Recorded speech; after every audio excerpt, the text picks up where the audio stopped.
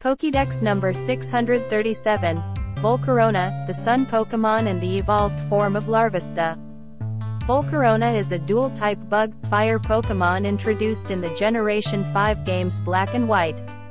A sea of fire engulfs the surroundings of their battles, since they use their six wings to scatter their ember scales. When volcanic ash darkened the atmosphere, it is said that Volcarona's fire provided a replacement for the sun.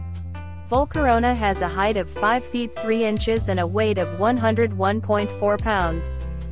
Volcarona has access to the ability Flame Body which makes contact with the Pokémon may burn the attacker.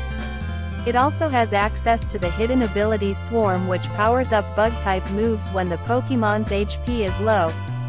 Here are Volcarona's base stats. Its best stat is Special Attack at 135 and its worst stat is Attack at 60. Volcarona's base stat total is 550.